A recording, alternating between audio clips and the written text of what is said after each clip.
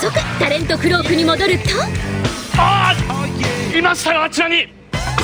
松本潤さんと KAT−TUN の皆さんを発見。おじゃまもです。名前何でしたっけ？えちょっと待ってください。おそ松さん。違います。だから右松なんでここでホットになるんですか待ってくださいよ。今回はですね皆さんが本当にホットな選手なのかを確かめにやってまいりました。皆さんは本当にホットだと自信がありますか？じゃああります。いやってチャンピオンなんかなんかクールなじゃあ俺もあります。じゃあじゃあじゃあじゃあじゃあじゃああってことはねみんなあるああるんですねというあれということはということはあれホットなんじゃないですかこの後松潤 KAT−TUN が大暴れ振り返るといつも君が熱血マイク争奪ホットな名曲歌合戦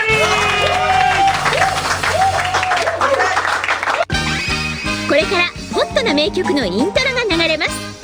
皆さんには中央にあるマイクの周りを歩いていただき曲が止まったらマイクを奪い取ってその曲を歌ってもらいます。これで皆さんの歌の知識とホットな情熱を確かめます。やっぱり先輩とかが歓迎するとやりづらいんではないでしょうか？いややりづらく感じますか大丈夫だね そんなん気にしなくていい俺が言うやめてください1曲目。うわー懐かしい！うわこれな？超欲しい。な超最低これ最初なんだ？あこれはもうバラードの名曲中の名曲ですよ。いいこれ。さあどうだ？ああ分かった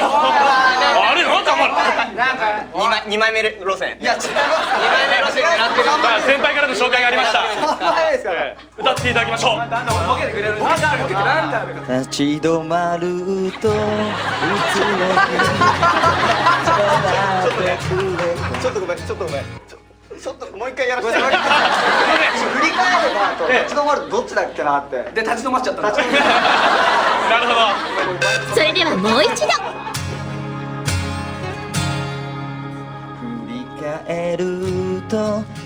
も君が笑ってくれた。正解。あー素晴らしい歌声披露していただきました。2曲目。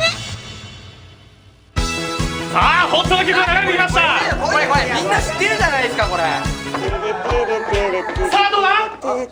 ちょっと待ってください。本当だ今触ったじゃないですか。いや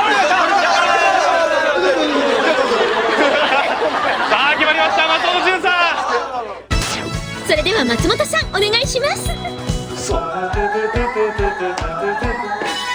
あの子もこの子もみんな踊り踊っているよ。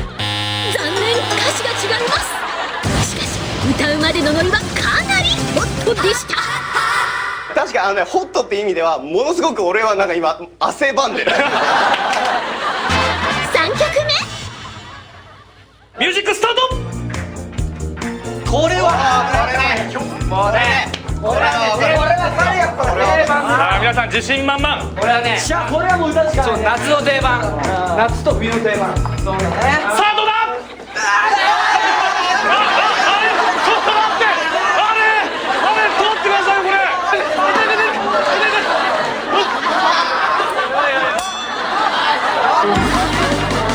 赤西さんの策略でマイクをゲットしたのはなんと右松？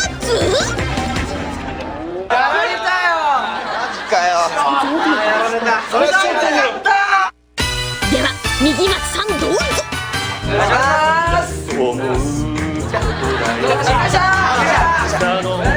裏側にあることにねちょっと待ってください皆さん。ああ行っちゃったというわけで皆さん。やはりホットであることがよく分かりましたそんなホットな出演者でお送りする明日の歌柄ホットヒットテーマ人気芸人まちゃまちゃの同級生があの有名ミュージシャンであることが発覚。中学時代ですか中学あの家も近所で明日も超ホットにお送りします